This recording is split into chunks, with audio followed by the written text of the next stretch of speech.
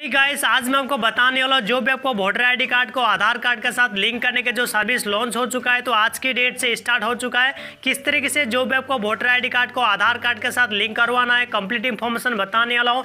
Video को complete watch कीजिएगा तो चलिए शुरू करते हैं आज की टॉपिक पर। अगर आप हमारे चैनल को पहली बार देख रहे हैं तो वीडियो के नीचे सब्सक्राइब का बटन है सब्सक्राइब पर क्लिक कीजिए, ताकि हम इसी तरीके से नॉलेजेबल वीडियो लाते रहते हैं। सबसे पहले आपको वोटर हेल्पलाइन एप्लीकेशन को डाउनलोड कर लेना। अगर आपने पहले से डाउनलोड करके रखा तो उसको अपडेट कर लेना। उसके बाद आपको ओपन ऑप्शन पे क्लिक करेंगे। जैसे आप ओपन पे क्लिक करेंगे तो आपको यहाँ पे ओपन होने लगेगा, जो भी आपको वोटर हेल्पलाइन एप्लीकेशन उसके बाद आपको आई एग्री बटन पे टिक मार करेंगे नेक्स्ट बटन पे क्लिक करेंगे, उसके बाद आपको लैंग्वेज चूज़ करेंगे गेट स्टार्ट पर क्लिक करेंगे तो आपको इस तरीके से डैशबोर्ड दिखाई देगी, जो भी आपको वोटर हेल्पलाइन का डैशबोर्ड है। उसके बाद आपको वोटर रजिस्ट्रेशन पे क्लिक करेंगे। क्लिक करने के बाद आप सबसे नीचे की तरफ़ आपको दो ऑप्शन देखने मिलेगा। फॉर्म एट है, साथ में आपको जो electoral authentication form B six है, जो आपको आधार कार्ड को वोटर आईडी कार्ड से लिंक करने के लिए जो बी सिक्स फॉर्म आपको भरना होगा। सबसे पहले जो भी आपको फॉर्म एट, जैसे कि फॉर्म एट में जो भी आपको मोबाइल नंबर को लिंक करने के लिए कुछ अपडेट किया गया है। सबसे पहले जो भी आपको फॉर्म एट को किस तरीके से फिलअप करना, आपको मैं बताऊँगा। फॉर्म एट पर क्लिक करेंगे। क्लिक करने के बाद जो भी आपको लेट स्टार्ट पर क्लिक करेंगे। उसके बाद आपको मोबाइल नंबर को पुट करना होगा, जो भी आपको मौजूदा मोबाइल नंबर है, उसके बाद आपको यहाँ पे सेंड ओटीपी के ऑप्शन पे क्लिक करेंगे। आपके मोबाइल पर एक ओटीपी आएगा ओटीपी को पुट करेंगे, उसके बाद आपको वेरीफाई ऑप्शन पे क्लिक करेंगे। उसके बाद आपको यहाँ पे पूछा जा रहा है कि आपके पास वोटर आईडी कार्ड का नंबर है तो आपको येस बटन पे क्लिक करेंगे, उसके बाद आपको नेक्स्ट पर क्लिक करेंगे। जैसा आप नेक्स्ट पर क्लिक करेंगे तो आपको यहाँ पे वोटर आईडी कार्ड का नंबर आपको मेंशन करना होगा। उसके बाद आपको फेच डिटेल पर क्लिक करेंगे। जैसे फेच डिटेल पर क्लिक करेंगे आपको सबसे नीचे की तरफ़ यहाँ पे प्रोसीड बटन पे क्लिक करेंगे। प्रोसीड बटन पे क्लिक करने के बाद जो भी आपका वोटर आईडी कार्ड का डिटेल है आपके सामने आ जाएगी। उसके बाद आपको यहाँ पे अच्छी तरह से चेक करके नेक्स्ट बटन पे क्लिक करेंगे। नेक्स्ट बटन पे क्लिक करने के बाद आपको यहाँ पे आधार कार्ड नंबर को पुट करना होगा। अगर आपके पास आधार कार्ड नंबर नहीं है, जैसे कि आपके पास आधार कार्ड नहीं है तो आपको यहाँ पे छोटा सा बॉक्स में टिक मार्क करेंगे। आधार नंबर को डालने की ज़रूरत नहीं है। अगर आपके पास आधार कार्ड है तो आधार कार्ड नंबर डाल दीजिए।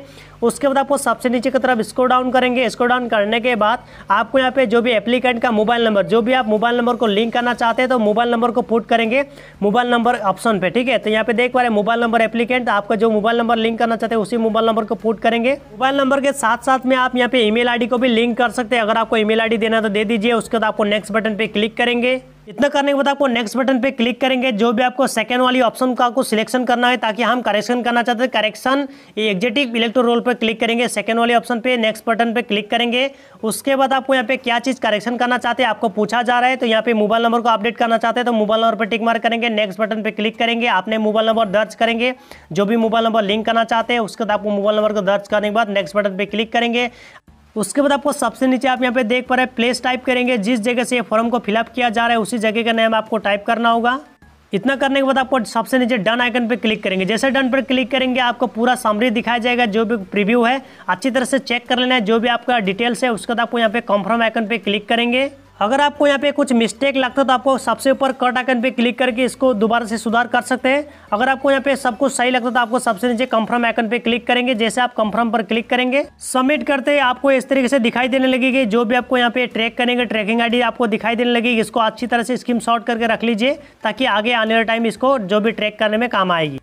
उसके बाद आपको डैशबोर्ड में आएँगे फिर से। उसके बाद आपको यहाँ पे वोटर रजिस्ट्रेशन के ऊपर क्लिक करेंगे। क्लिक करने के बाद उसके बाद आपको यहाँ पे सबसे नीचे की तरफ़ देख सकते हैं electoral authentication form B six पर क्लिक करेंगे। क्लिक करने के बाद आपको लेस स्टार्ट पर क्लिक करेंगे। अपने मोबाइल नंबर को आप दर्ज करेंगे, जो भी आपके मौजूदा मोबाइल नंबर है, उसके बाद आपको सेंड ओ का ऑप्शन पे क्लिक करेंगे। तो आपके मोबाइल पर एक ओटीपी आएगा। ओटीपी आने के बाद आपको ओ को पुट करेंगे, उसके बाद आपको यहाँ पे देख पा रहे हैं। वेरीफाई और ऑप्शन पे क्लिक करेंगे। हमने ओटीपी डाल दिया वेरीफाई ऑप्शन पे क्लिक करेंगे। वेरीफाई ऑप्शन पे क्लिक करने के बाद आपको इस तरीके से दिखाई देने लगेगी तो आपको यस करके नेक्स्ट बटन पे क्लिक करेंगे आए वोटर पर। उसके बाद आपको अपने वोटर आईडी कार्ड को नंबर को आपको यहाँ पे पुट करेंगे। उसके बाद आपको अपना जो भी स्टेट है, अपने स्टेट को सिलेक्शन करेंगे। उसके बाद आपको फेच डिटेल पर क्लिक करेंगे। आप यहाँ पे देख सकते हैं, हमने फेच डिटेल पर क्लिक किया तो उसके बाद आपको प्रोसीड बटन पर क्लिक करना होगा। तो प्रोसीड बटन पर क्लिक करेंगे तो आप जो भी आपका डिटेल है कंप्लीटली आपके सामने आ जाएगा। अच्छी तरह से आपको वेरीफाई कर लेना है। बटन पे क्लिक करेंगे तो सबसे नीचे आप यहाँ पे देख सकते हैं आधार डिटेल जो भी आपका आधार कार्ड का नंबर है, आपको यहाँ पे आधार कार्ड का नंबर डालेंगे। अगर आपके पास आधार कार्ड नहीं है तो सबसे नीचे वाली बॉक्स में टिक मार करेंगे। चलिए, मेरे पास आधार कार्ड है तो यहाँ पे मैंने आधार कार्ड नंबर डाल दिया, उसके बाद आपको यहाँ पे सबसे नीचे तरफ़ इसको डाउन करेंगे तो यहाँ पे देख सकते हैं मोबाइल एप्लीकेंट जिनका भी आप यहाँ पे वोटर आईडी कार्ड को लिंक करना चाहते हैं, उनका मोबाइल नंबर का दर्ज करेंगे। उसके बाद आपको सबसे नीचे ईमेल आईडी भी दे सकते हैं। इतना करने के बाद आपको प्लेस को टाइप करेंगे, जिस जगह से ये फॉर्म को फिलअप किया जा रहा है, उस जगह का नाम आपको टाइप करना होगा, उसके बाद आपको डन पर क्लिक करेंगे। आपको अच्छी तरह से अपना डिटेल को चेक कर लेना आपको यहाँ पे एक प्रीव्यू दिखाई देने लगेगी, जो भी डिटेल सही है, आपको यहाँ पे अच्छी तरह से चेक करना, अगर आपको यहाँ पे सही है तो कंफर्म आइकन पे क्लिक कीजिए, अगर आपको यहाँ पे कुछ भी गलत है, कुछ भी आपको सुधार करना है तो आपको कट आइकन पे क्लिक करके दोबारा से सुधार कर सकते हैं। मेरे केस में सब कुछ सही है, मैं कंफर्म आइकन पे क्लिक करता हूँ। जैसे आप कंफर्म आइकन पे क्लिक करेंगे तो आपको यहाँ पे एक रेफरेंस नंबर जनरेट होगा, जिस रेफरेंस आई नंबर की मदद से आप वोटर आईडी कार्ड को ट्रैक कर पाएँगे, जो भी आपने लिंक किया है, वो लिंक हुआ कि नहीं। थैंक यू दोस्तों, आज के लिए इतना, अगले वीडियो मिलते हैं। अगर आपको वीडियो को पसंद आए तो लाइक कमेंट शेयर ज़रूर कीजिएगा।